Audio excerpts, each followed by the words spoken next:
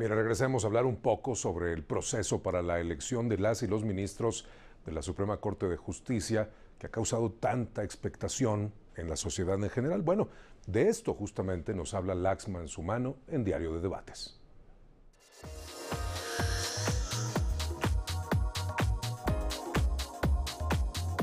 Como siempre, un gusto saludarle por las frecuencias del canal del Congreso, en nuestro canal de YouTube y en nuestra cuenta en ex arroba noticia Congreso. Esta semana el Senado de la República avaló la renuncia del ministro de la Suprema Corte de Justicia de la Nación, Arturo Saldívar Lelo de la Rea. Pero, ¿por qué el Senado de la República y no los diputados? Vamos a ver. Artículo 76 de la Constitución. Facultades exclusivas del Senado. Ahí se indica que es precisamente la Cámara Alta la que está facultada para aceptar la designación que hace el Ejecutivo de Ministros de la Suprema Corte y también avalar la renuncia o solicitud de licencia de los mismos.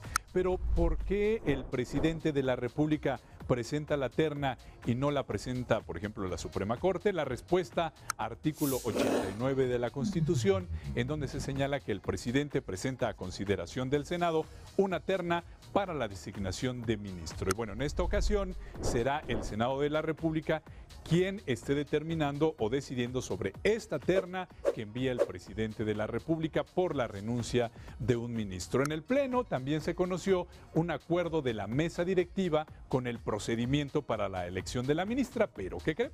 No hubo una votación suficiente y se pospuso para próxima sesión. Y el vocablo ministro no siempre lo utilizamos de manera correcta. Ministro es la persona que pues administra la justicia en segunda instancia, ya que la primera instancia lo determina un juez. Y ministro también se utiliza como ah, para designar aquella persona de la Suprema Corte de Justicia de la Nación que conoce de asuntos de impartición de justicia a nivel federal.